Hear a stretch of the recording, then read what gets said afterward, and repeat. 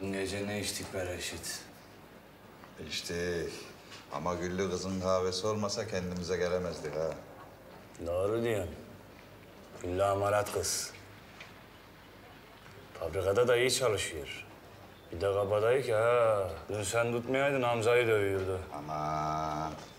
Karı takımının kabadaylığından ne olacak? Bakma sen ona. Yok yok öyle deme. Esasına bakarsan ben karı kısmının biraz da kabadayı olanını seviyorum biliyor musun? Tabii canım. Karı dediğinde bilek olması lazım. He? Sonra iyi de yiğit karı gerek. Doğru diyorsun.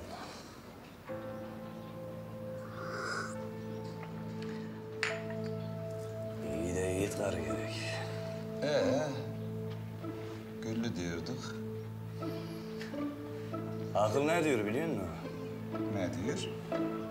Alacaksan güllü gibi karı alacaksın. Bilekli, yiğit,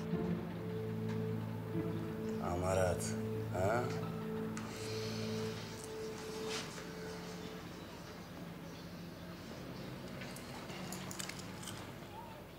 Abo!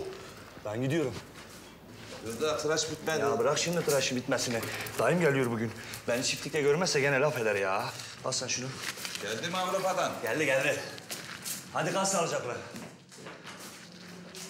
Güle güle. Cemşir. Cemşir. Cemşir. Cemşir.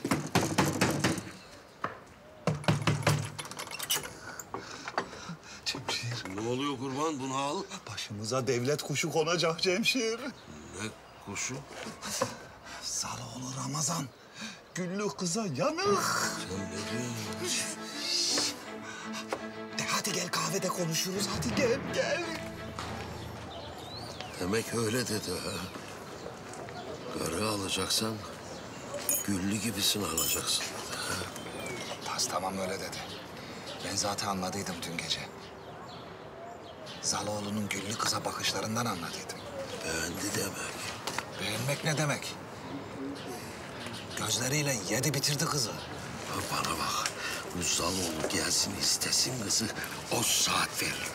Bir de aralarında dini nikah kıydık mı bitti gitti. Sen de Muzaffer Bey çiftliğine yerleşirsin herhal.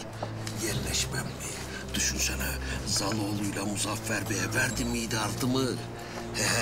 Yediğim önünde yemediğim ardımsın.